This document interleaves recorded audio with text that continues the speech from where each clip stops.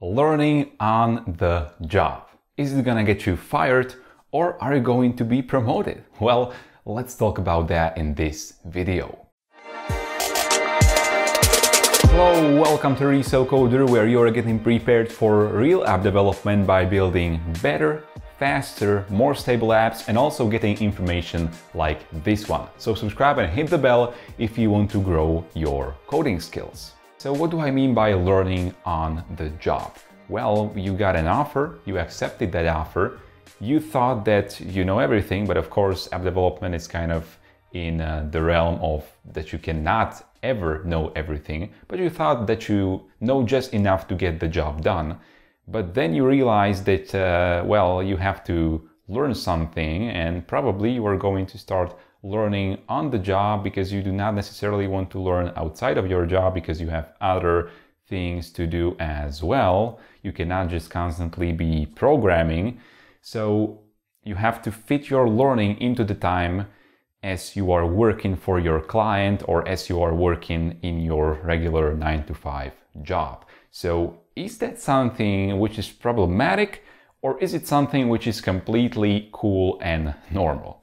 Well, you have to realize that app development, as I said, is a bit different, or any kind of a software development in general is different than uh, other jobs. That's because app development is evolving in such a fast rate that it's completely impossible to keep up with it and to know everything which is going on in the app development world, to know about all of the kinds of libraries which are possible to use, to know about the updates to those libraries, and to know even about all of the programming concepts if you are working in a team.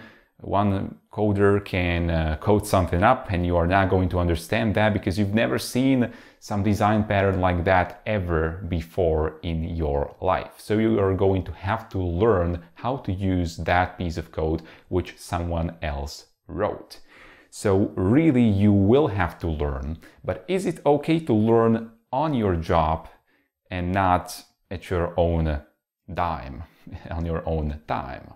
I think that learning on the job will make you feel incompetent unless you know about the stuff that I'm talking about because you will think that, oh, I'm not good enough. You will have that imposter syndrome and that's just no good because you have to realize that you have to absolutely learn on the job, and here is why. You should always be learning on a per task basis. You should not learn everything. You should not learn all about Flutter in one go. You should not read that huge book in one sitting. You should not do any of that stuff because you are going to forget about it anyway. You should always learn on a per task basis. And I'm not advocating that you start learning only once you get the job. You should know most of the stuff. You should know your basics. Once you get the basics right, you get almost everything else right. But there's still going to be some points in your app development journey in every single project which are going to require that you learn new things. And going from the premise of learning on a per task basis means that you should also learn on a per task basis as you receive those tasks which you need to implement at your job or when you are working with a client. Because think about it, you will have to learn it anyway. And it's something which you need to learn for the job. And it's something new which you have never seen before. But you're a competent developer. You didn't slack off when you were applying for those jobs. You actually knew that you are a capable developer and the client probably knew also that you are capable, but then something pops up. So you are not an imposter, you are not incompetent, you are competent, you are just not yet, not yet skilled in that particular area which you need to master in order to be able to implement that particular feature of the app. So learning on the per task basis means that you should absolutely learn on the job. You should absolutely do that because it's something which needs to be done to make that app happen, to bring that app to life, which you are currently building.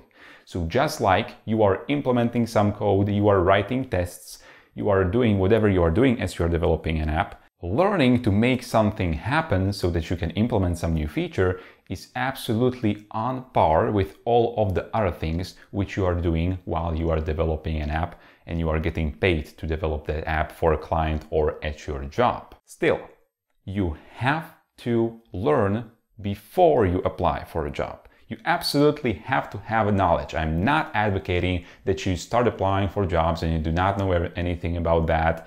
You start applying for React and you are only doing uh, native Android development. Even that is not something which I would recommend.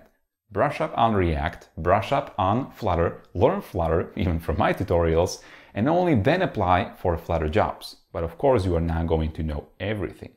But still, if you have that broad knowledge first, that what you should be learning outside of your job, broad knowledge, and really you have to know where to search for your the answers which you need to get. And once you have that broad knowledge and you apply, and then you need to learn something as you are implementing some new feature of the app, then you do not have to feel incompetent, really don't, because everybody has to learn something new as they are going with their projects, but just take it as, oh, that's the fact of life. I just have to learn new things as I go.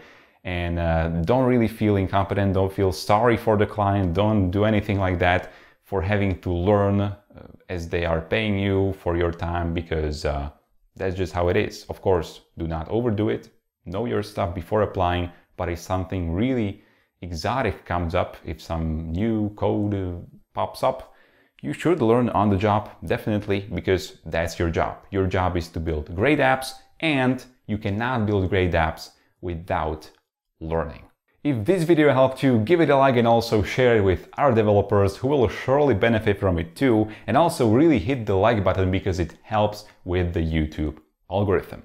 Also, if you do not know already, there is an amazing Flutter conference taking place in Warsaw, Poland I will be there, people from Google will be there, and it will be packed with awesome talks. It will be a two-day conference. So if you want to learn more about it, go to fluttereurope.dev and link is also in the video description. If you want to get curated list of Flutter news and resources, go to flutter.education over there you can find the really curated list of news picked by me. And also over there you can subscribe to my mailing list to get those Flutter news and resources delivered weekly right into your inbox. So go to flutter.education, link to it is also in the video description.